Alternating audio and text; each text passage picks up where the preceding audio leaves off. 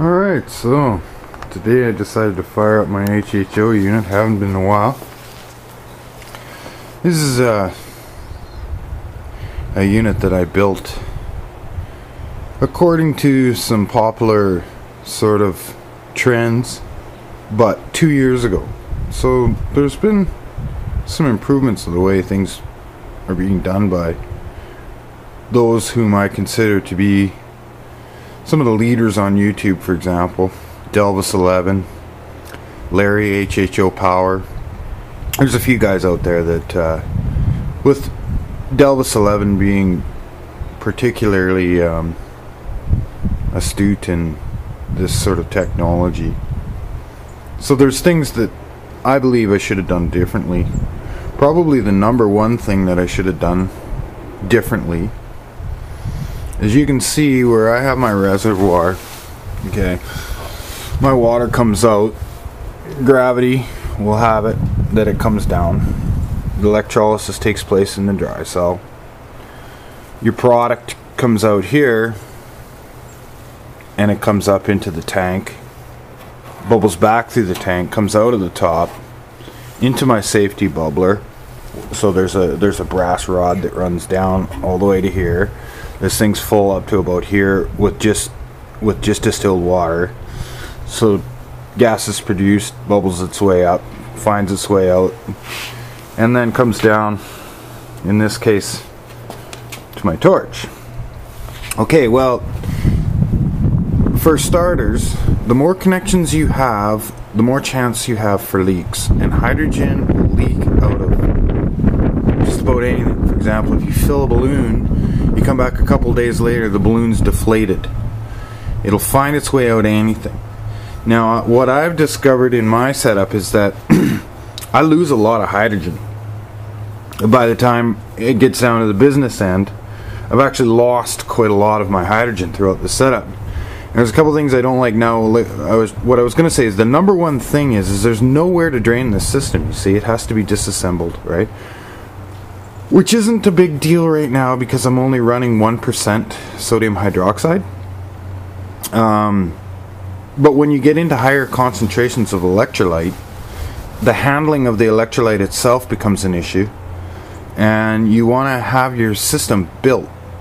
The other thing that should have been done is the whole thing should have been a little higher. Like I should have used a bigger computer case. I should have used one of those old monsters from the 80s, a server case get everything a little higher. I'm, I'm, I'm pushing the, the distance from here to here should be a bit more. Another six inches would be nice.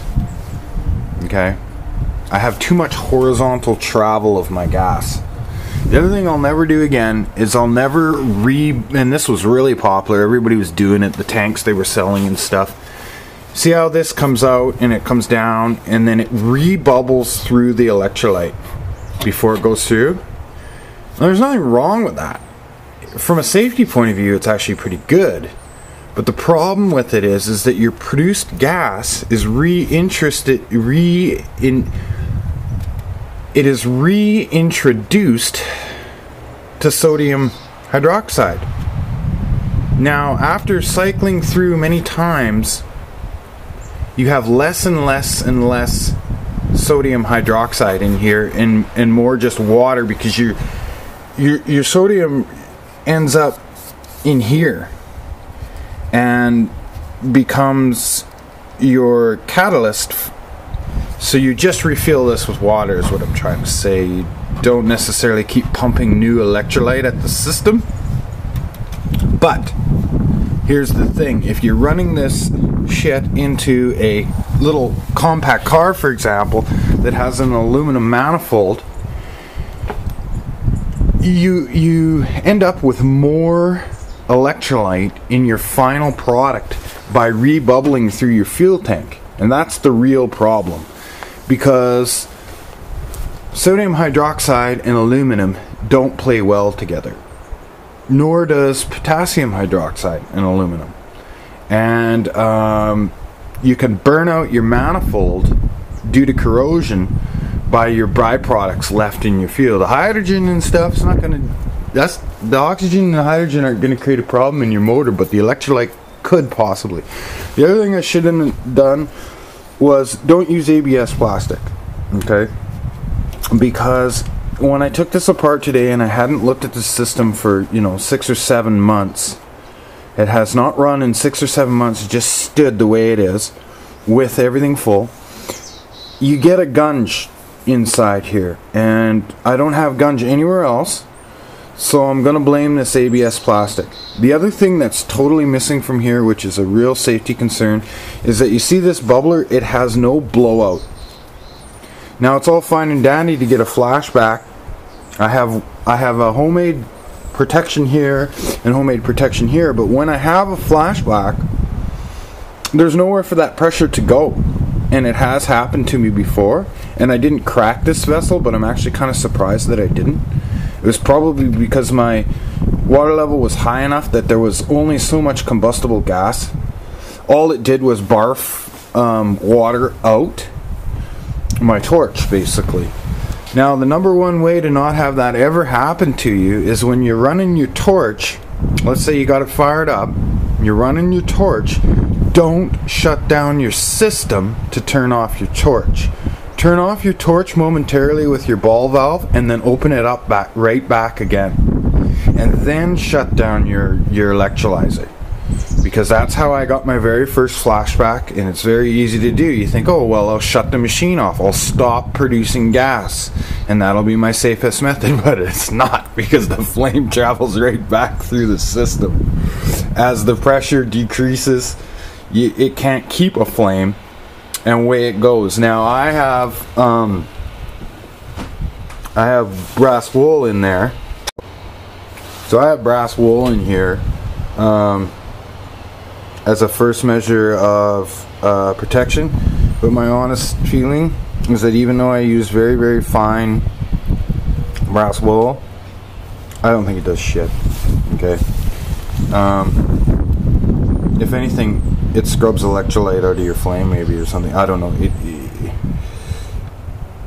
I, I I have no faith in that as a flashback arrestor whatsoever. So my only flashback protection is a bubbler that doesn't have a blow off valve, which is really pretty stupid. Don't don't make that same mistake.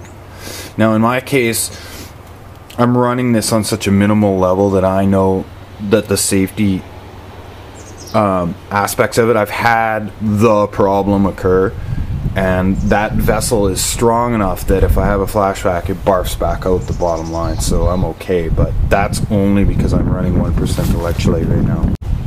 Now you can run up to 20% electrolyte, um, and then you probably have you know the the strongest molar concentration electrolyte is you're going to get is probably 20. I mean, in theory, it might be 30, but you're probably only going to get between 20 and 30 percent. Now I run real low electrolyte because I'm trying to create a small flame for refrigeration, but you know depending on what you're going to do, you're going to run different concentrations. Now, mine's controlled by a um, commercial product by Maxtronic. It's a 35 amp PWM, and I'm running a 25 amp fuse. So that gives you some kind of indication. I'm not going to go into uh, gas production tests and everything. I know where this thing sits, and it's it's pretty low right now. Um, but that's kind of where I want it to because I kept melting my heat exchanger on my fridge as it were anyway. Um, so I'm not looking for huge production, but when I tear this down, it's going to be a wholly different beast because I'm going to switch from 21 plates over to 50, between 58 and 63, and that will take me from 12 volts to the wall. I'm going to build a 110 version, following sort, pretty much following the Delvis Levin line of thinking. Of course, I built my own dry cell, so it's it's a different story. I mean, you know, he builds his a little differently than mine. Everybody builds theirs a little differently. There's there's some things that you know that are pretty common practice nowadays that I didn't incorporate at the time because not necessarily everybody was doing it. One of those is that you can see I have one port in or one port in down there, sorry, on the bottom, and one port out. It's more typical now to have two ports on either side. So you have um, you don't force the gas to move across this this horizontal plane to come out. You give it an opportunity to come out over here as well. Um, as well, if you look at Larry HHO Powers designs, he's got some slots along the top of his plates, and his plates are designed more they're they're longer horizontally than they are tall, and it's all about getting the bubbles off the plates faster. In addition, he's gone into um, using uh, all kinds of stuff. Check him out. Uh, HHO Power, spelled P W R, I believe and Delvis 11 are, are the two guys that I watch really pretty closely. There's others too that you'll see if you look at who's commenting on their page politely. In other words, they're friends. Those are generally pretty good guys too. They that are worth checking out on their channels. But yeah, that's that's the system, and uh, I'm just gonna do a few things. I'm gonna build a couple crystal batteries, and I'm gonna melt down my. I'm gonna melt Epsom salt and actually, if you see that rock over there in my pathway, it's a very interesting rock. When I melt it with HHO, it turns into this sort of glass crystal that, that I'm pretty interested in. And I'm pretty interested in the electrical characteristics of this flame, which not a lot of people talk about because, you know, they're worried about, oh, you know, does it does it give you better gas mileage? But I don't know, I mean, I'm getting into skeptical ground here, but I can tell you that this flame has strange characteristics in that it will turn around and just dissolve certain things in no time. Yet if it has a an electrical relationship with something else that you try to to torch, suddenly it won't work. For example, like you try to you try to heat water with this flame and it's pathetic. Yet you can turn around and get titanium glowing red hot. You know. Now here's an example. You try to you try to um, do some quick desoldering. Well, that was a couple of seconds worth of flame hitting that. And it's done almost nothing to the solder, but it instantly started to disintegrate the fiberglass.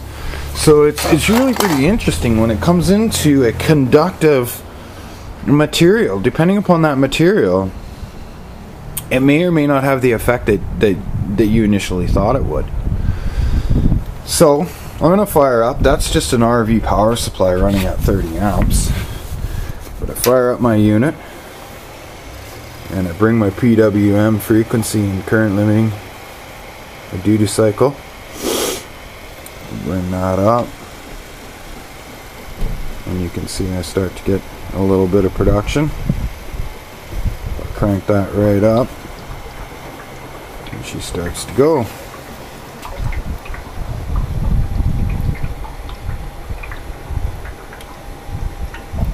One of the other problems with bubbling through your your your uh, tank is that you get a fair amount of electrolyte moving past the point where you'd where you'd want it to. You get foaming in here, which I don't like.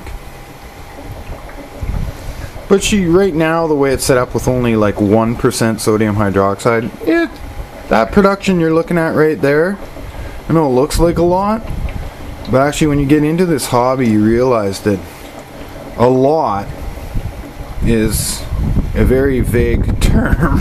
that's probably right there. That's probably mm, 1.3 to 1.5 liters per minute. That's actually not that much gas. So when you see these little systems that put out um, pathetic little bubbles, they're, they're they're putting out nothing.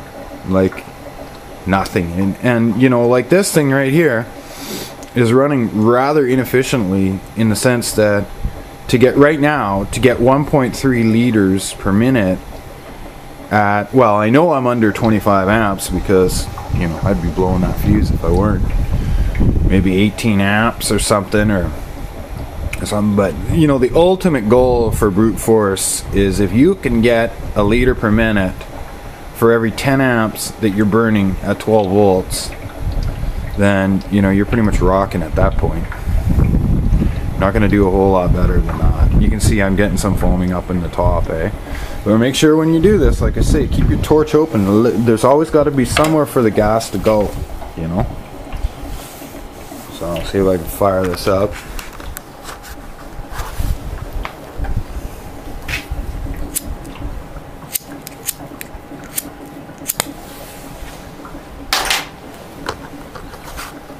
Now it takes a while too for for it to uh, to build up some pressure in the system as well. But there you have it. Now you can see by the color of my flame that I still have quite a lot of electrolyte. And that was presenting some, some issues when I was running it in my diesel. Not too bad though, because it's an older diesel, but uh, I stopped running it in my diesel for other reasons. Mainly my, my motor has already has 400,000 kilometers, and 6.2 liter Chevy diesel, which they're not known as a real strong block to begin with. 90% of the people who tear down a 6.2 uh, basically decide that they're not going to rebuild it because of micro fissures and, and cracks in the block. Even though they thought they had a solid engine, they don't. And so when you run hydrogen in a block that is susceptible to cracking and micro fissures, and you run hydrogen in there, you're, you're cleaving those micro fissures and you're exploding them further and further apart. So um, it's better suited for like a Cummins or something that's a little bit stronger. And uh, so I stopped doing it because I was only getting 10 to 15% fuel economy improvement, uh, which is decent, you know. Like, I mean, don't get me wrong, it was cool, but you know, if you ruin your motor at the same time because it's not well suited to HHO, well, then you know, your return on investment there is is pretty pathetic, right? So yeah, I can't really do a whole lot of uh, demonstrating the use of the torch. You can see that on other videos, but I'm going to melt some rock today and make some crystal batteries. So uh, there you have it. Talk to you later. Thanks for watching.